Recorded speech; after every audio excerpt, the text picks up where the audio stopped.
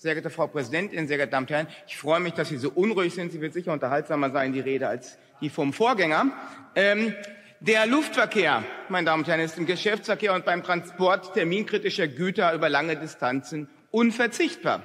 Systembedingt, das verstehen manche vielleicht nicht, ist der Energiebedarf höher, da man die Passagiere und Lasten gegen die Gravitation auf Reiseflughöhe bringen muss und dort auch halten muss.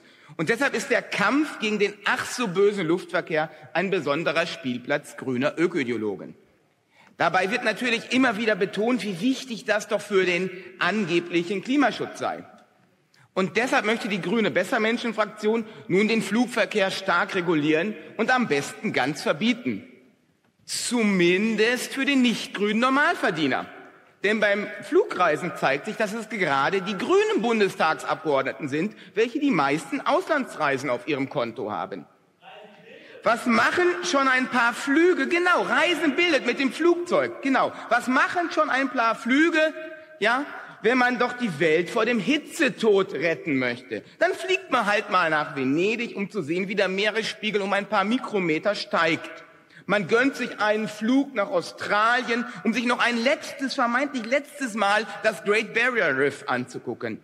Oder auch einen schönen Flug nach Grönland, in, äh, um das Packeis im Sommer beim Schmelzen zu sehen. Und seine grüne Hatsch nach Grönland kommentierte dabei Hofreiter schon mal fast melancholisch, das Eis ist nicht mehr so ewig. Nun ja, im Sommer ist das vielleicht auch so, aber man kann sich aber auch vielleicht einfach mal bei Grönland die Klimageschichte an der Erde angucken und feststellen, dass Grönland ja Grönland heißt, weil nämlich die eisbedeckte Erde eine historische Ausnahme ist. Und als die Grönländer, Grön, äh, die Wikinger Grönland entdeckten, war halt die Küste grün.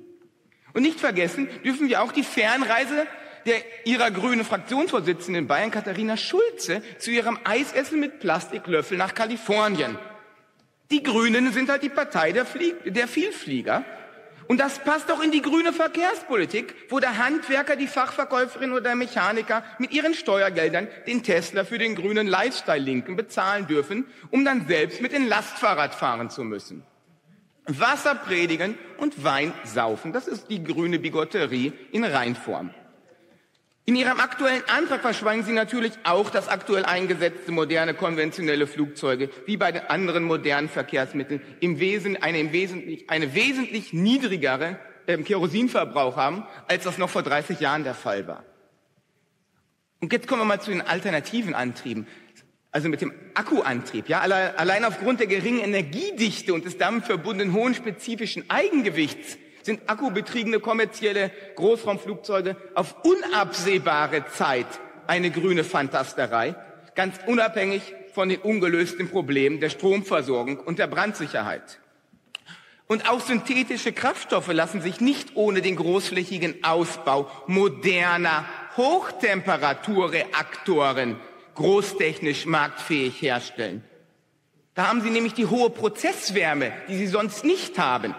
Und das geht insbesondere nicht mit zufallsabhängigen Windmühlenstrom.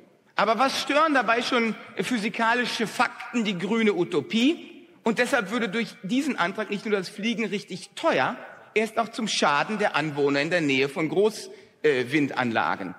Und sie wollen tatsächlich alle Schutzmaßnahmen, welche aus Gründen des Emissionsschutzes, des Gesundheitsschutzes, des Naturschutzes getroffen wurden, komplett fallen lassen. Die Abstandsregelung für Windindustrieanlagen soll weg, die Begrenzung der soll Larvlicht äh, soll ausgeweitet werden. Äh, Quatsch, die Begrenzung der Larvlicht wollen Sie entsprechend kippen. So, faktenbefreite Ökoplanwirtschaft ist das in Reinkultur. Und wenn wir bei den Fakten sind, noch mal ganz kurz zum Schluss, ist es eben die Anlage angesprochen im Emsland, die online, äh, die jetzt äh, losgegangen ist. Vielleicht mal zu den Fakten. Da wird erstmal aus ähm, elektrischem Strom Wasserstoff synthetisiert.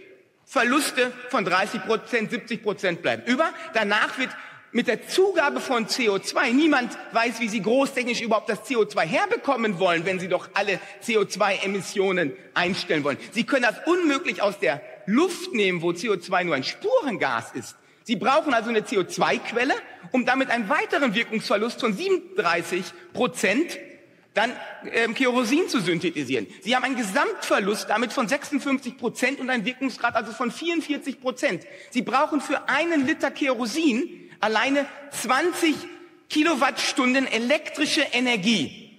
Und jetzt gehen Sie mal davon aus, was das alleine kostet, wenn Sie das mit Wind, mit flatterhaften Windstrom machen wollen. Sie sind systembedingt bei zwei Euro. Tatsächlich kostet das weit über fünf Euro aktuell zu 30, 30 Cent, was Sie in Kerosin normalerweise für normales Kerosin bezahlen. Deshalb stimmen wir stimmen der Überweisung in den Ausschuss trotzdem zu. Das wird vielleicht dann ganz interessant zu erfahren, ähm, wie die grüne Wählerklientel in Zukunft zu ihrem Urlaub zu den Malediven kommen möchte. Dankeschön.